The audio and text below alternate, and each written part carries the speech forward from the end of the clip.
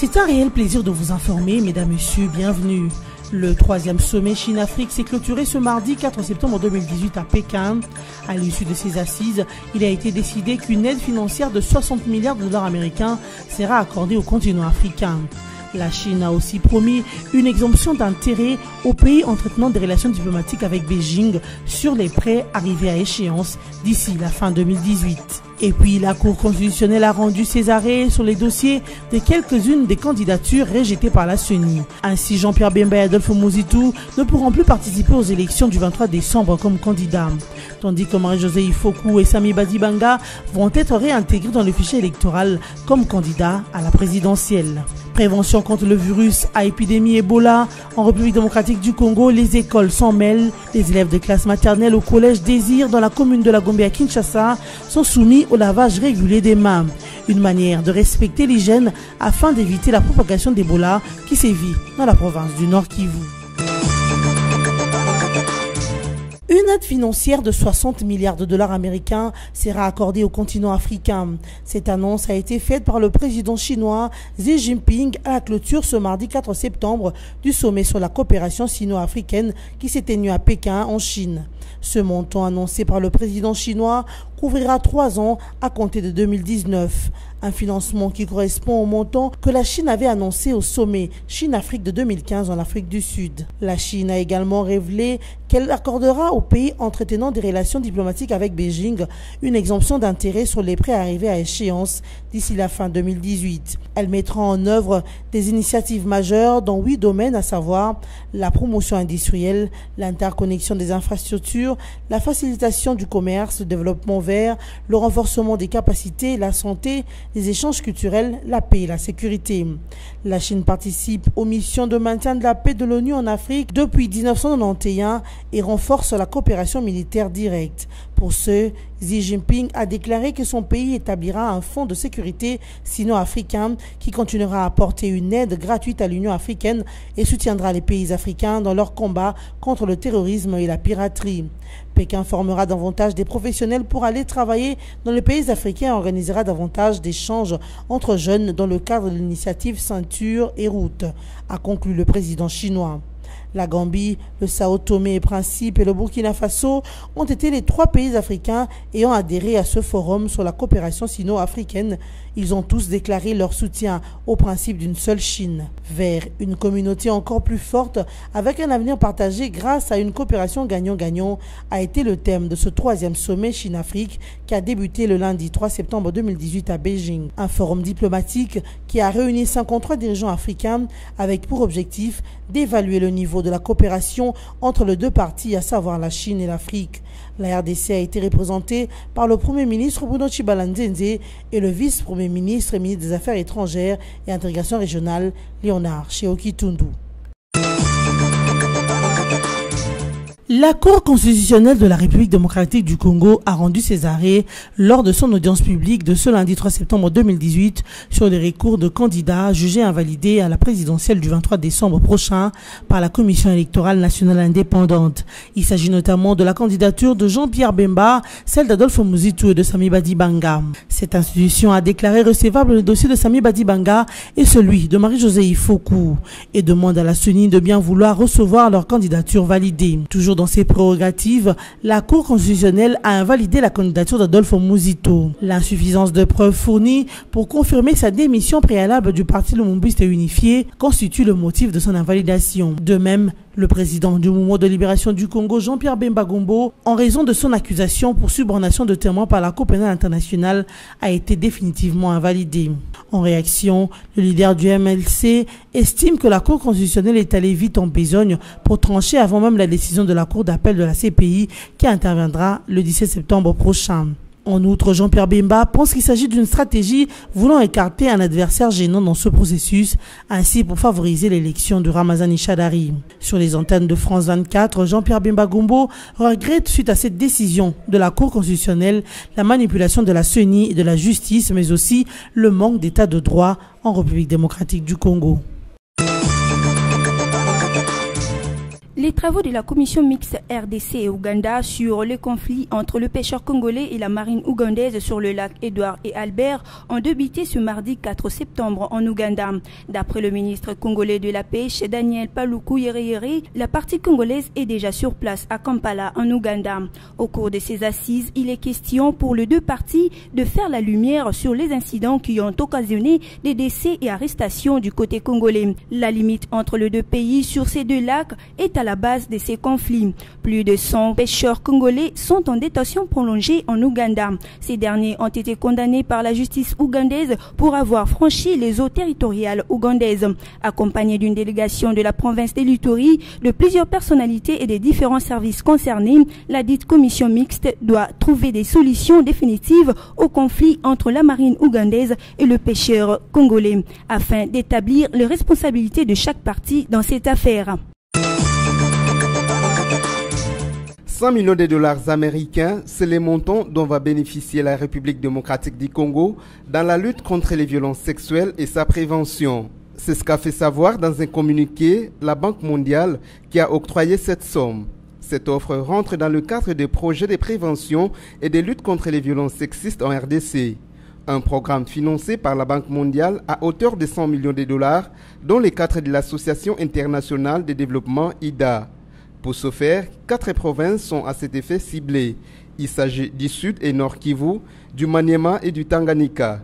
Au total, 795 000 personnes sont bénéficiaires de ce projet, parmi lesquelles 400 000 femmes et filles, indique-t-on dans ce communiqué. Au-delà de la prévention et la lutte contre les violences sexuelles, les projets entendent aussi promouvoir l'égalité homme-femme afin de susciter les changements des comportements.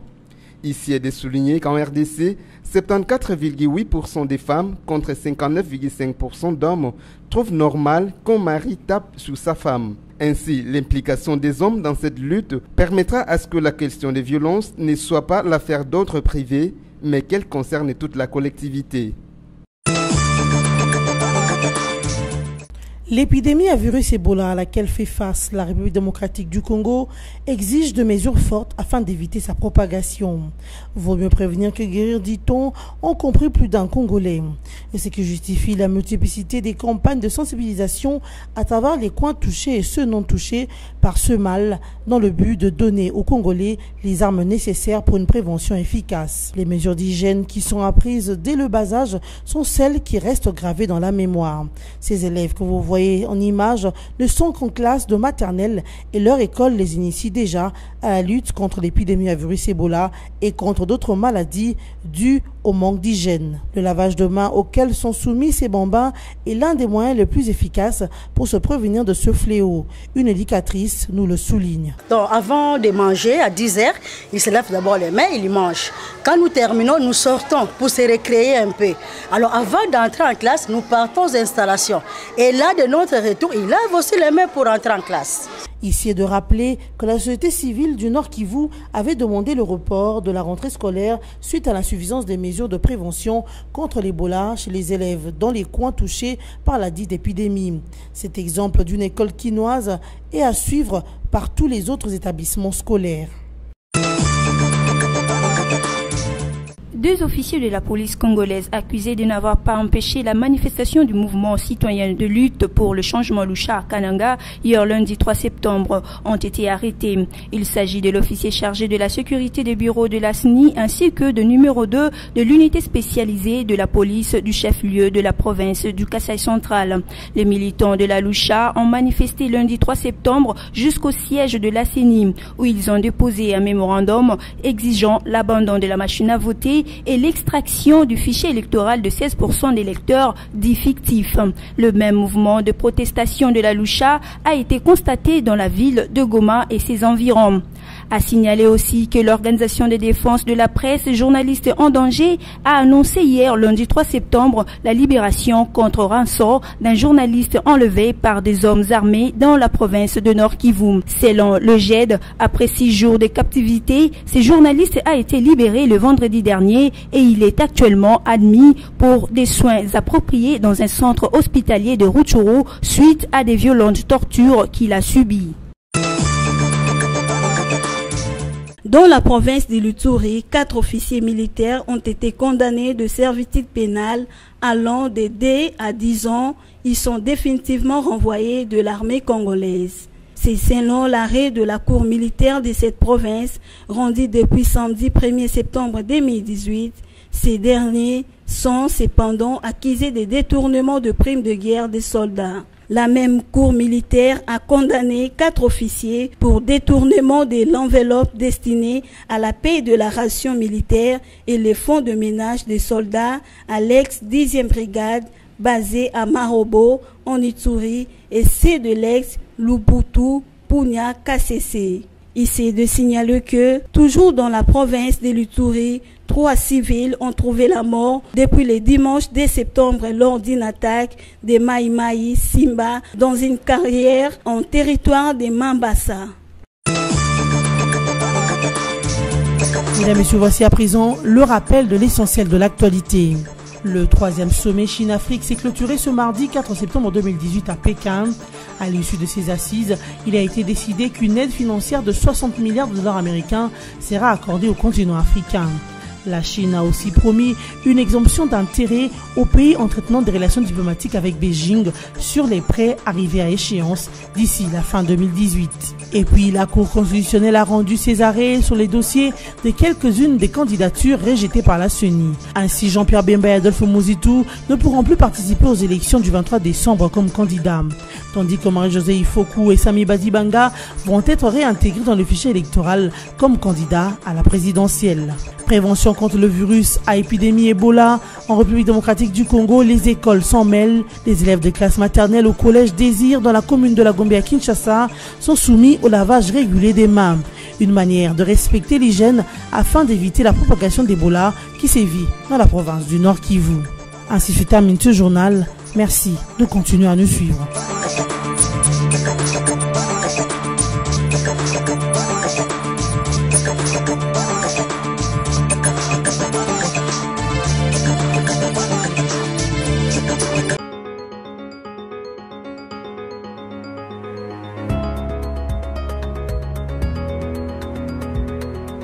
Bienvenue à tous à la revue de presse de ce mardi 4 septembre 2018 sur BSC TV. Débutons avec Forum des As qui note en grand titre Verdict de la haute cour, Badibanga repêché, Bemba Mozito et Kizenga invalidé. Douche froide dans la salle d'audience de la Cour constitutionnelle hier. Elle a rendu le jugement dans les affaires des contentieuses électorales prises en délibéré le vendredi dernier pour 24 heures. On peut retenir grosso modo de l'audience d'hier que sur les six requêtes à la présidentielle examinées dans la Chambre constituée à cet effet à la Haute Cour, a déclaré inéligible Jean-Pierre Bemba Gombo, candidat président de la République du MLC, et Adolphe Mouzito du regroupement politique UREP. Pour sa part, le Premier ministre honoraire Sami Badibanga a obtenu gain de cause. Il faudra donc désormais compter avec lui pour la présidentielle du 23 décembre prochain. Invalidé par la CENI, Sami Badibanga a été déclaré éligible par la première chambre de la Cour constitutionnelle. L'arrêt de la Cour étant inébranlable et opposable à tous, les débats sur la congolité d'origine de Sami Badibanga est dorénavant clos définitivement. En ce qui concerne les chairman du MLC, l'argumentaire que la Cour constitutionnelle a opposé aux moyens développés par son conseil est que la subordination, c'est la corruption prévue vu comme cause d'inéligibilité à l'article 10 de la loi électorale, exactement comme la thèse défendue aussi bien par la CENI que par les ministères publics. Poursuivant cette revue de presse avec les sites Capi.net qui écrit RDC, la CENI entame l'affichage des listes provisoires des électeurs. La Commission électorale nationale indépendante CENI a publié lundi 3 septembre les listes provisoires des électeurs dans les différents centres prévus pour le prochain vote. D'après Norbert Bassengezi, 40 23 000 électeurs retenus sur les listes du fichier électoral doivent passer dans ces sites de vote pour vérifier leur nom. Il a par ailleurs invité le Congolais à dénoncer sur ces listes des personnes qui n'ont pas droit au vote, les mineurs, les condamnés et les étrangers notamment. Bouclons cette revue de presse avec actualité.cd qui titre Kassai Central, Denis Kambay institue un corps de volontaires pour la paix et le développement. Le gouverneur du Kassai central, Denis Kambay Simbumbu, a rendu public des arrêtés provinciaux ce lundi 3 septembre 2018 tard dans la soirée. Le premier institut un corps de volontaires pour la paix et le développement du Kassai central. Selon le contenu de ces arrêtés lus par les conseillers en communication du gouverneur, les missions de ces services sont entre autres d'appuyer les autorités publiques dans l'anticipation de menaces et le renforcement de la paix, mais aussi servir de main-d'œuvre dans les travaux des salubrités publiques, des cantonnages manuels et des activités agricoles. Le gouverneur Kambai justifie l'institution de ce service par l'expérience des événements des tristes mémoires du mouvement Kamina Sampou et la nécessité de matérialiser la mise en exécution des résolutions de la conférence sur la paix, la réconciliation et les développements de l'espace Kassai dès septembre 2017. Cette revue de presse est terminée. Merci à vous de l'avoir suivi et à la prochaine.